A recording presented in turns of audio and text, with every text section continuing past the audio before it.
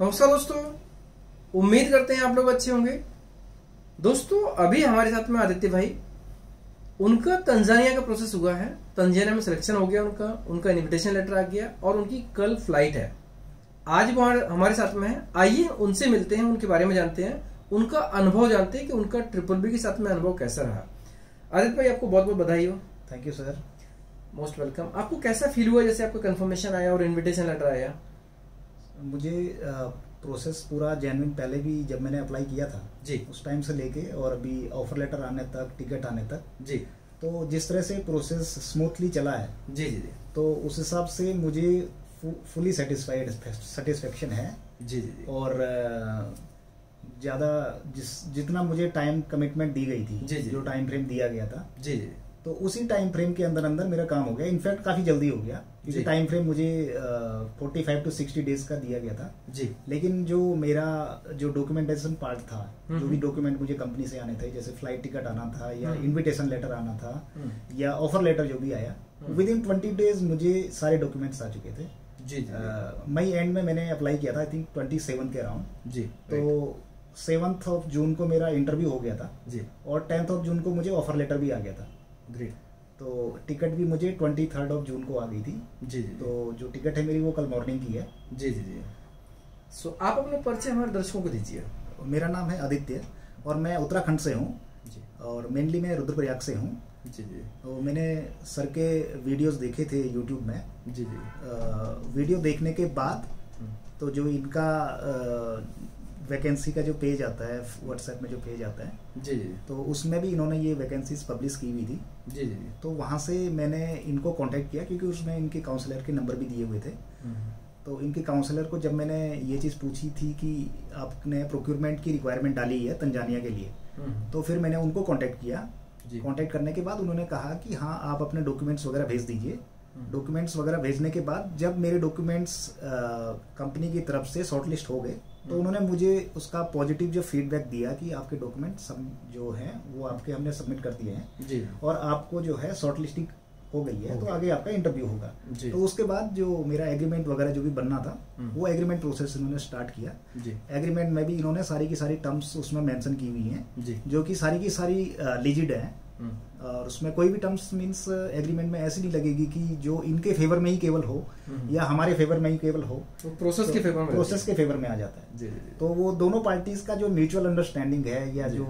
Process है हम्म, तो आप जब एग्रीमेंट साइन करोगे उसके बाद ही ये आपका प्रोसेस है वो स्टार्ट करेंगे। एग्रीमेंट साइन करने के बाद। एग्रीमेंट म्यूचुअल बेनिफिशियल है। म्यूचुअली बेनिफिशियल है. सो आपने जब अप्लाई किया सबसे पहले ट्रिपल बी का नाम आपने कब सुना था? मैंने सर सही कहूँ तो मैंने जब आपके वीडियो यूट्यूब पे देखे थे जी। मैं लास्ट सिक्स मंथ से आई थिंक मैं सोच रहा था स्विच करने के लिए जी। अब्रॉड में। अभी तो मैं यहीं पे जॉब करता था। हम्म, तो आपका जो यूट्यूब में जब मैंने वीडियो देखा था मई में हम्म, तो वीडियो देखने के बाद हम्म, उसके बाद आपकी जो वेबसाइट है वहाँ से मैंने विज़िट करके आपका जो कंपनी का प्रोफ़ाइल है वो विज़िट किया। जी। तो उसके बाद जो आपके पुराने वीडियोस भी थे हम्म। वो भी मैंने उसमें उनको प्ले किया। जी जी। तो एक अंडरस्टैंडिंग आ जाती है उसके बाद कि ये कंपनी कैसी है है, हाँ, या नहीं है या ये काम करा सकते हैं मेरा या नहीं करा सकते हैं। जी। तो जिस तरह का आपका प्रोसेस था हम्म, शुरू से लेके एंड तक हम्म, पूरा का पूरा एक तरह से जो जेन्युइन प्रोसेस होती है जी जी। उस तरह से। जी।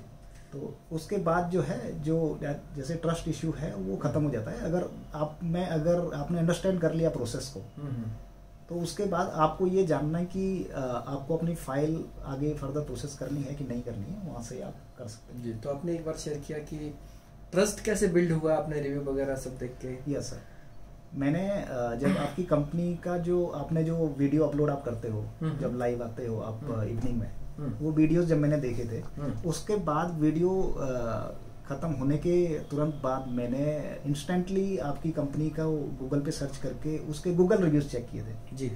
तो आपके जो गूगल रेटिंग थी या गूगल रिव्यूज़ थे उनको पढ़ के हम्म। तो मैंने उसमें जो वन स्टार रिव्यू थे हम्म, आपके वो भी मैंने सारे के सारे पढ़े हुए थे। और उनपे उसके अगेंस्ट में जो आपने जो रिप्लाई दिया था जी जी। तो वो भी मैंने पूरे पूरे अंडरस्टैंड किए। जैसे कि उसमें कुछ था कि जो वन स्टार रिव्यू थे। जी जी जी। तो उसमें ये भी मेंशन था कि आप कॉल पिक नहीं करते हो। इनफैक्ट कि उसमें ज़्यादा जो नेगेटिव रिव्यूज़ थे हम्म। जो भी वन स्टार रिव्यू थे हम्म। वो केवल उसी से रिलेटेड थे कि ये कॉल नहीं उठाते हैं। जी जी after number of times call करने के बाद भी कॉल नहीं उठाते। हम्म। बट मेरे केस में ऐसा बिल्कुल भी नहीं है कि मैंने जब कॉल हाँ ये है कि कभी कॉल किया तो इनमें अगर शायद किसी दूसरे काम में बिज़ी हो या फिर इनकी वर्किंग आवर्स ना हो हम्म। उस टाइम पे अगर या फिर इनका लंच टाइम हो तो उस टाइम पे अगर कॉल किया होगा तो इन्होंने पिक नहीं किया होगा हम्म। बाद में इन्होंने सेम डे मुझे रिप्लाई दिया है जी जी जी या तो मैसेज के थ्रू हम्म। या फिर कॉल के थ्रू। रिप्लाई इन्होंने दिया है सेम डे दिया है। इसमें कई बार ऐसा भी होता है ना कुछ लोग अनऑफिशियल आवर्स में भी कॉल करते हैं। Yes. ड्यूटी पे होंगे लेकिन Yes. छुट्टी हुई उसके बाद वीडियो देखा तुरंत कॉल कर दिया। यस तो कई बार ऐसा होता है। यस सर ऐसा हो सकता है। अगर कभी ऐसा कोई व्यक्ति अगर कॉल करता है और कॉल का आंसर ना होता तो सबसे इम्पोर्टेंट है एक बार या दो बार कॉल कीजिए वर्किंग आवर्स में। और आप एक मैसेज ड्रॉप कर सकते हैं अपना पूरा नाम पूरा डिटेल सब कुछ मेंशन करते हुए और आपकी क्वारी क्या है। और अगर आप अनऑफिशियल आवर्स में कांटेक्ट करना चाहते हैं तो व्हाट्सएप मैसेज ही करें बेटर रहेगा। सो so, आपका ओवरऑल अनुभव कैसा रहा हमारी टीम के साथ में काम करने में? सर आपके जो काउंसलर से जो फ़र्स्ट डे मेरी बात हुई जिस तरह से उन्होंने मुझे गाइड किया जी जी। कि आपके पहले डॉक्यूमेंट्स आएँगे। हम आपके डॉक्यूमेंट थोरोली चेक करेंगे। जी। उसके बाद सारे के सारे डॉक्यूमेंट्स थोरोली चेक करने के बाद उनको कंपनी में सबमिट किया जाएगा जो आपका एम्प्लॉयर है। जी बिल्कुल। एम्प्लॉयर सबमिट करने के बाद।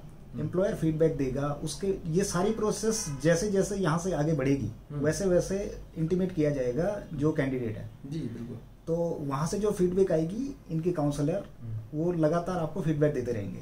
तो इनके जो काउंसलर हैं उन्होंने step wise step step wise step जैसे जैसे गाइड किया था जो प्रोसेस उन्होंने स्टार्ट में मुझे बताई थी हम्म, प्रोसेस शुरू होने से पहले हम्म, वही प्रोसेस अभी तक मतलब जैसा उन्होंने कमिट किया था पहले ये होगा उसके बाद ये प्रोसेस होगी तो वही प्रोसेस सारी की सारी हुई है। जी। और काफ़ी स्मूथली हुई है। जी जी और रही बात सर ये कॉल्स वगैरह की तो मुझे एक्चुअली यहाँ से खुद कॉल आते थे। जी अपडेट के बारे में। अपडेट के बारे में। जी। मैं इनको मैंने हार्डली खुद से दो या तीन बार ही कॉल किया होगा। वो भी स्टार्टिंग में केवल जब मेरी प्रोसेस स्टार्ट हुई थी। जी जी। जैसे मेरी प्रोसेस स्टार्ट हुई है हम्म। मैंने हार्डली इनको एक या दो बार कॉल किया है। जी जी जी। और वो भी कुछ डाउट्स पूछने के लिए ना कि ये फीडबैक लेने के लिए कि काम कहाँ तक हुआ कहाँ तक नहीं हुआ हम्म, हम्म, वो ये खुद ही मुझे बता देते थे। जी, आपके। काउंसलर थे वो खुद मुझे कॉल करके बताते थे कि आपकी फ़ाइल अभी यहाँ पे है कल आपका इंटरव्यू होगा या उस उस डेट को आपका इंटरव्यू होगा। जी। वो खुद आप बता देते हैं या कंपनी में से आपको कितना टाइम में ऑफ़र लेटर आने वाला है वो सब कोऑर्डिनेट कर देते थे। जी।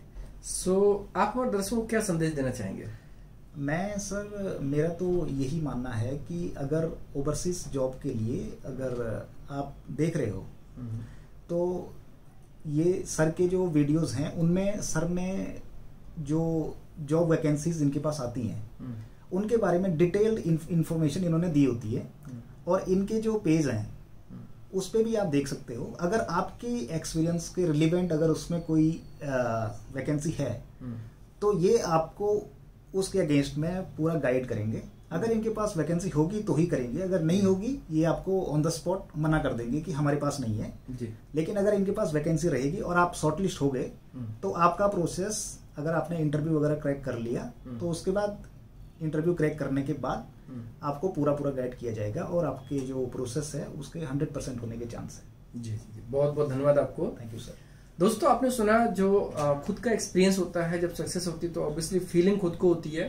एंड जो लोग भी लाइक इन कंट्रीज़ में जैसे हमने वीडियोज़ अपलोड किए करंट रिक्वायरमेंट सिंगापुर हो या तंजानिया हो जाम्बिया हो न्यूजीलैंड जो भी रिक्वायरमेंट करंट में है, उनके लिए अप्लाई करना चाहते हैं। किसी भी कंट्री में जिसका वीडियो अपलोड हो चुका है, आप वीडियो देखने के बाद में टीम को कॉल कर सकते हैं। लेकिन कॉल ऑफिशियल आवर्स में ही करें बेटर रहेगा।